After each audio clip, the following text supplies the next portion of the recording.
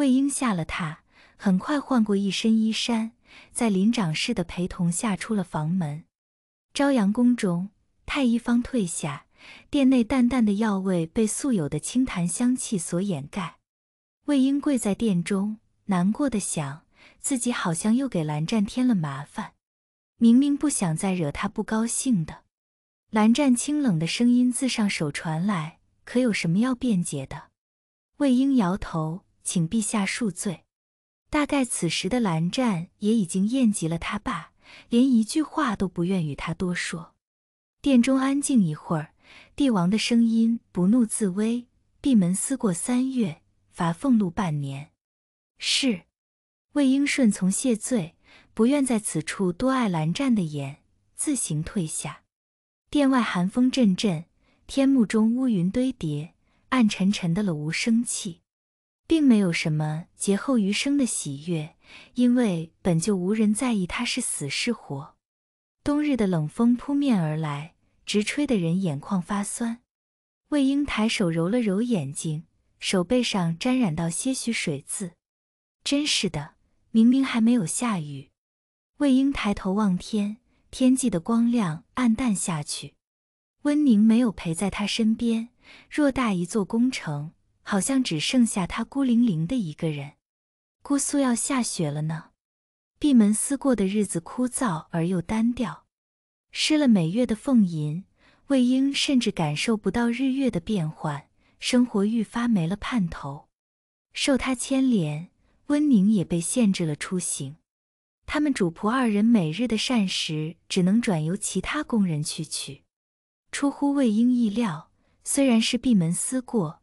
但长定宫中人对他的态度并没有变得更加糟糕，也不知是不是他的错觉。一日三餐都有人按时送到，于魏婴而言已经足够满足。天越来越冷，下过两场大雪，将整座皇城装点的素洁纯净。午膳时分，小六子去膳房拿了饭菜来，肩上还沾着几片雪花。魏婴诚挚道：“多谢。”小六子连连摆手，魏世君言重了。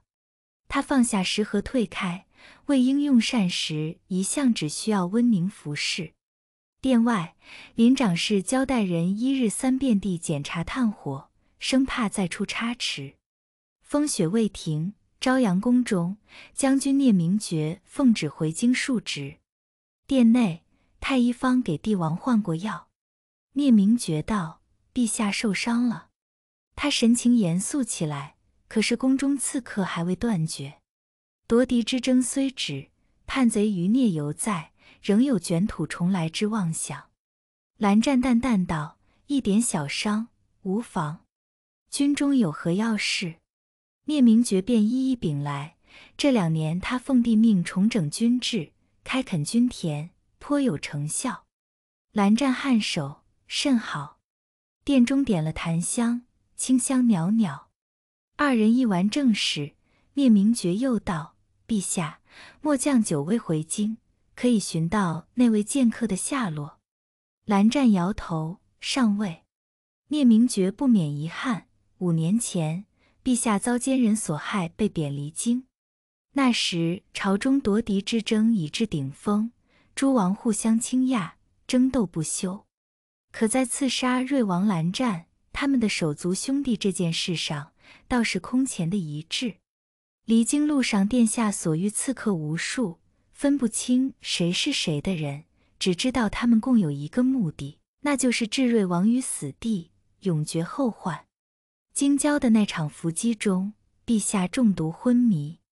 他们此前方遭遇几轮刺客，已是疲乏至极。京郊埋伏之人显然预谋已久。各个招式狠辣，打得他们措手不及。他带着剩余亲兵掩护着陛下，且战且退，几乎已做好了战死在此地的准备。手中长刀染血，誓死要护陛下周全。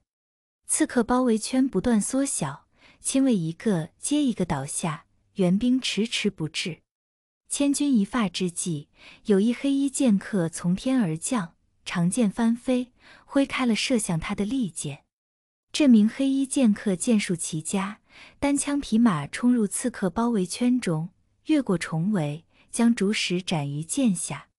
同为习武之人，聂明觉知晓对方身手乃当世翘楚，趁着刺客自乱阵脚，亲兵得以喘息，以极其惨重的代价化解了此次危局。陛下此前安排的接应之人也终于赶到，聂明觉长舒一口气，松懈下来的当口，立刻欲向那剑客道谢，却发现对方不知何时已悄然离开。他戴着银面具，聂明觉并未能看清其样貌。聂明觉将长刀收回鞘中，瑞王殿下深得人望，此番大约是哪位受过殿下恩惠的剑客大义元首？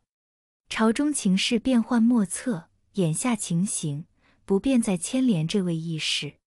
后来陛下继位，朝局稳定，贴出布告寻找昔日的救命恩人，可告示贴了无数，迟迟无人来认。那日的凶险，聂明觉至今仍记忆犹新。救命之恩不能不报，若那位恩人站在臣面前，臣定能认出他来。转眼一月过去，停了风雪。今日是个难得的晴天，冬日的阳光洒入御书房中。蓝湛手执笔，却迟迟未写下一字。大总管为他斟了茶，正欲安静退下，忽听得白衣君王开口道：“今日是腊月二十三罢。”是。大总管恭谨道：“不知帝王为何突然提起此事？陛下有何吩咐？”蓝湛却未语，只道：“无事，下去罢。”隆冬时间，纵然有暖阳当空，依旧是冷的。魏婴在屋中枯坐了大半个午后，黄昏的北风一吹，身上带了几分寒意。他拢了拢衣衫，将窗子合上了些。今日魏婴没什么胃口，晚膳用的比平时还要少。温宁一言不发。夜深人静之时，却给他端来一壶清酒，还有一碟绿豆糕。魏婴齐了，阿宁，你哪儿弄来的？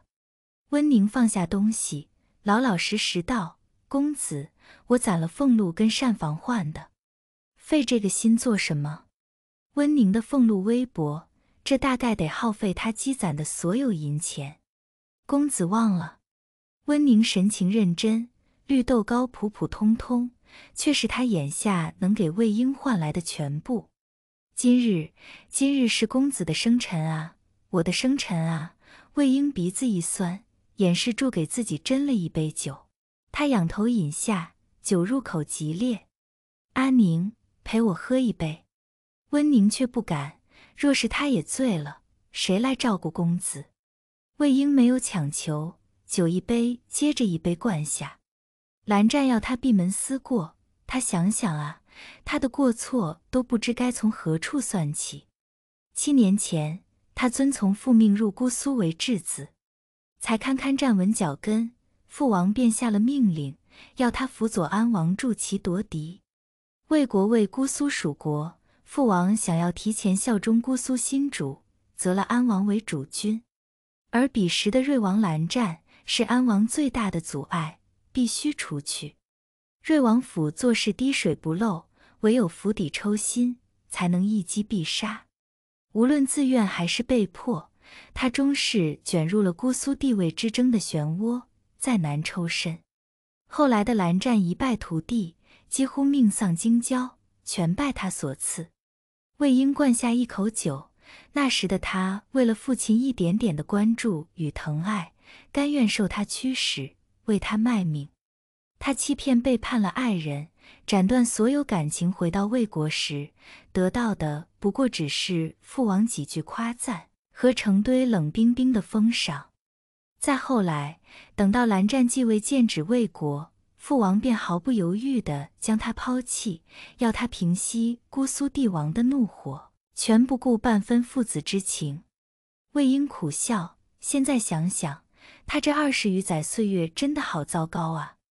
母妃生下他只为顾宠，眼中唯有父王施舍的微薄真情，甚至母妃临终之时都在对他耳提面命，要他为父分忧，尽为人子的孝道。而他唯一真心爱过的人又被他所伤，恨极了他。魏婴揉了揉眼睛，这个世上没有人真心爱他，除了温宁，唯一有点安慰的就是屋里这盆炭，还差点要了他的命。乌云遮住残月，殿中暗了下去。喝空半壶酒，魏婴酒劲上冲，握着酒杯慢慢趴在桌案上，合上了眼眸。温宁蹑手蹑脚出去更换炭火，殿中安静无声。也不知睡了多久，又好像只是一瞬。魏婴被酒杯倾倒的声音惊动，茫然无措地擦了擦桌上洒出来的酒水。屋中已换过新的炭火，暖融融的。温宁不知去了何方。店门口立着一抹熟悉的白影，蓝湛。魏婴喃喃唤他，知道眼前之景都是梦境，可他好高兴。这一次，蓝湛出现在他梦中时，再不是白衣染血、神情厌恨绝望的模样。魏婴扶着桌案，踉踉跄跄站起身，在梦境中跌跌撞撞奔向心上人。蓝湛，他扑入了爱人怀中，被熟悉的清潭香味包裹着，就像是回到了避风的港湾。我就抱一会儿，抱一会儿就好。他喃喃低语：“求你。”不要让我那么快醒来。梦里的蓝湛当然没有拒绝他，就这么由他抱着。魏婴吸了吸鼻子，好怕梦境在下一刻破碎。月色融融，照出屋中两道长长的身影。怀中之人久久没有动静传来，久到蓝湛几乎以为他睡着了。他的手轻轻抚上魏婴的背。今夜是魏婴的生辰。在抬眸时，蓝湛身前的锦袍已一片狼藉。魏婴抹了抹眼泪，歉疚道：“对不起呀，给你弄脏了。”可是面颊的泪水却被他越擦越多。没关系的，他只能安慰自己，反正是在他的梦里都没有关系。泪眼迷蒙中，他看到蓝湛紧蹙起的眉，连在他梦中，蓝湛都不能再对他笑一笑。一股无力感席卷魏婴，太久了，久到他已经记不起蓝湛笑起来的模样了。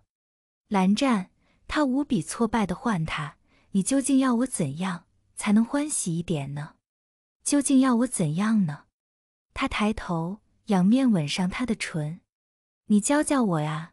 唇齿交缠，蓝湛手扣住魏婴后脑，反客为主，衣衫一件件滑落。